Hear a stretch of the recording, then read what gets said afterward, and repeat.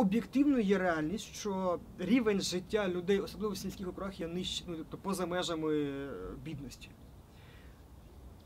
Об'єктивно є, що люди, які, які хочуть потрапити в парламент по мажоритації, мають купу грошей, тобто невичерпні фінансові ресурси.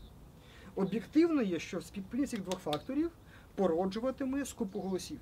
Ніхто не зможе переконати людей, які нижче рівня життя існують, ці грошей не брати. Ну точно не- до найближчих виборів. Тому є лише один спосіб організаційно ну, державницький. Нормальна нацполіція і прокуратура, яка буде карати тих, хто буде спробувати ем, купити. Бо ти ж не пересаджаєш всіх, хто продає. Ну, Це навіть теоретично неможливо.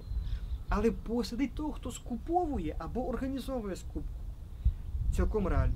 Була б політична воля.